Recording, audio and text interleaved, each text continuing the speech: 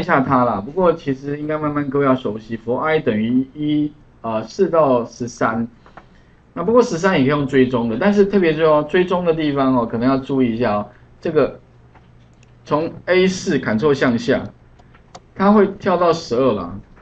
不过还是建议就是说哈，所谓的资料正规化啦，所谓的正规化就是说，因为我们现在是把 Excel 当资料库来使用，所以呢，你以前使用 Excel 的那个方法哦，尽量还是符合比较能够是符合那个资料库的结构，比如说栏就是栏，列就是列啊，不要有些栏里面后多插了一个东西，这样的话会造成他判断的错误，所以怎么办呢？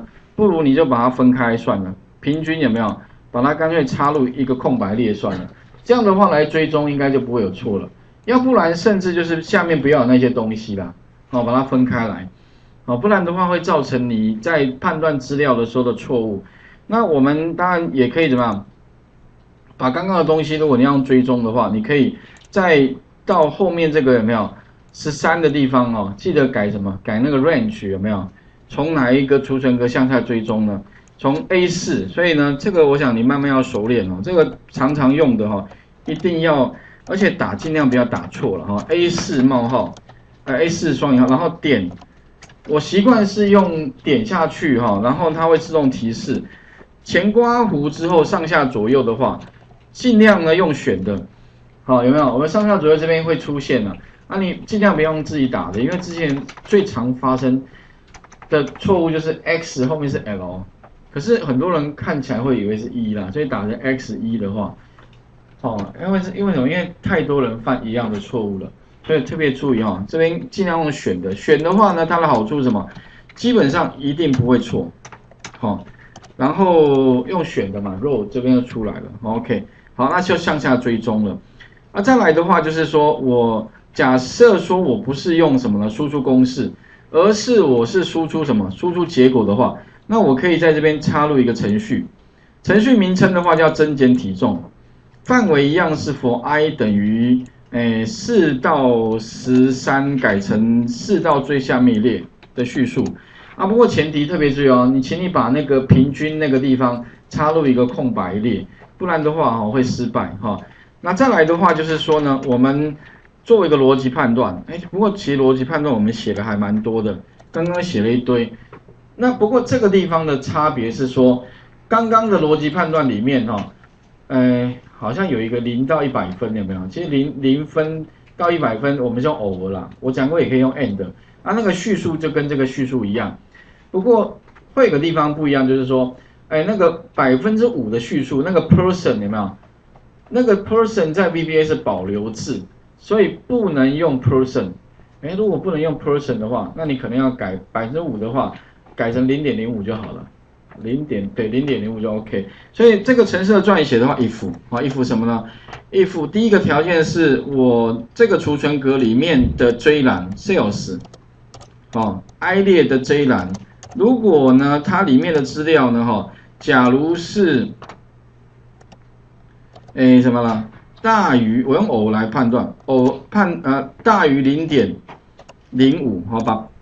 百分之五改成零点零五，或者是说呢，哈，它这个里面的值哈，假设是怎么样，小于负百分之五，所以拿这个来改好了，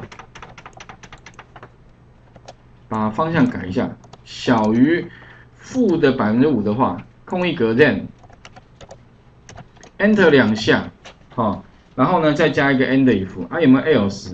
啊对，有 else，所以反之。反之 else，enter 两下打一个 a end OK，哦，所以两重逻辑。如果上面为 true 的时候呢，那我就直接在输出，输出到哪一个储存格呢？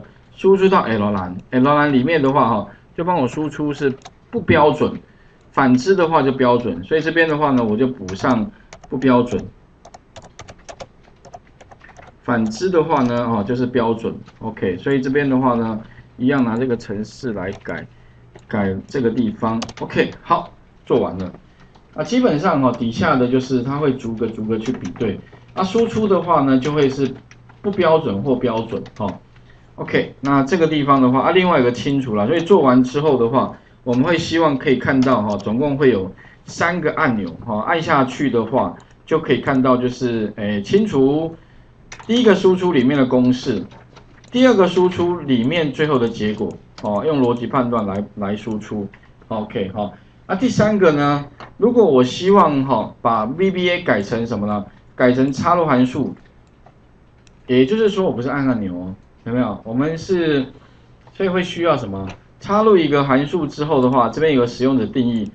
我希望在里面看到一个叫增减体重函数，OK 哈，就是按确定之后，那我前面讲过，方选一定是互动的，所以它一定会跟你要一个资料，什么呢？哎，追栏的东西，就是增减体重百分比，对，按确定哦，所以请你给我增减体重百分比，那我给他了，他会什么？return 一个结果给我，放在哪里呢？放在那个储存格上面。所以按个确定之后的话，向下填满，哎，这样子的话，结果其实也是一样的。那只是说呢，我们用的流程不同啊，这个也是我强调 VBA 两种形式。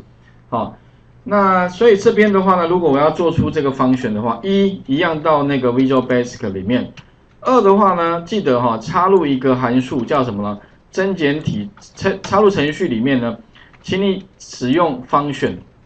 那方选里面的话呢，就是。增减体重函数，那这个名称的话是自己取的哈。你如果要用别的名称也 OK。然后呢，里面的公式我先把大家出来，就是类似这样一个 function，一个 end function 啊。后面这个小刮弧里面预设也是空的。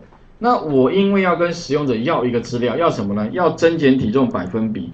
所以呢，你就把增减体重百分比加上去啊。这个名称将来会秀在那个前面的文字方块前面哈。那再来就是做逻辑判断。如果什么呢？哎，这个如果哎，所以这个其实跟刚刚我们写 sub 还蛮像的，差别只是说呢，我本来是到追栏里面去抓资料来比对，那现在是从那个增减体重百分比过来的，然后呢，哎，其他那输出的话，输出返还到这个方选方选本身哈，就可以丢到那个储存格里面去。OK，那这个地方我想各位试一下，因为跟前面我想我们做过的地方还蛮像的哈。那只是说呢，可能也许再把它改一下，改哪个地方呢？请各位改那个什么。如果我今天是健身房的业务人员，那我希望抓出哈最有可能成为我们会员的那个，他可能会是我们的大户，或者用用另外一个一个词叫他应该是我们的金主，或者叫肥羊也可以啦，哦。因为现在健身教练听说薪水还不错。那天看什么网络上有一个什么叫馆长，他说最高可以拿到三十一个月可以有三十万的薪水，哦，所以他应该会不会在大数据分析上面也也也下了一点功夫，哦，比如说这些会员资料里面，我想要知道哪一些是过胖的，诶，过胖的话，他应该要每天来，哦，就像我，我可能也需要常常要去健身房，啊，我因为现在冬天哦。都下雨，所以比较懒。夏天我就比较常常去健身房哦。